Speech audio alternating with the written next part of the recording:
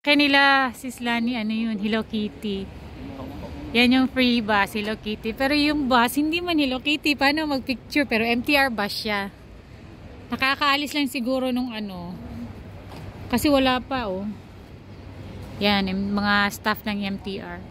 Sayang, gusto ko yung ano, ah. Hello Kitty, play with us today. Sayang, hindi namin na masakyan yung Hello Kitty. Wala, iba yung baso. See you later.